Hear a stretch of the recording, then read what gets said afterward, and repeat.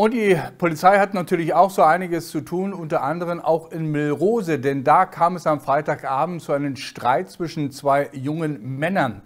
Ein 17-Jähriger stieß einem 23-Jährigen zu Boden und schlug dann auf ihn ein.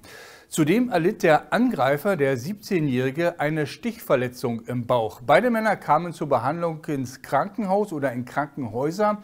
Die Polizei stellten das mutmaßliche Tatmesser bei den 23-Jährigen dann sicher.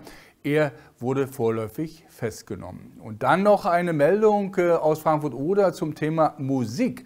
Denn wer ein Rendezvous mit einem Musical-Star haben möchte, dem bietet der 28. Januar die Möglichkeit dazu. Sie ist Schauspielerin, Sängerin, Songschreiberin, Musicalstar und eine der aufregendsten Stimmen der Gegenwart.